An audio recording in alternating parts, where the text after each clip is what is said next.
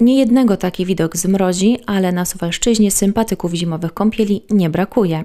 Zahartowani, rozbawieni i pełni animuszu, tak można powiedzieć o morsujących, którzy w niedzielę zmierzyli się ze stosunkowo ciepłym jak na styczeń powietrzem i zdecydowanie zimną jak na kąpiel w plenerze wodą. Jednak jak widać śnieg i lód nie przeszkodziły w kąpieli. Morsowanie cieszy się od jakiegoś czasu sporą popularnością, choć nie każdemu wystarcza odwagi, by zmierzyć się z takim wyzwaniem. Taki rodzaj rekreacji ma jednak również przeciwwskazania. Zdecydowanie nie jest zalecany osobom z problemami kardiologicznymi.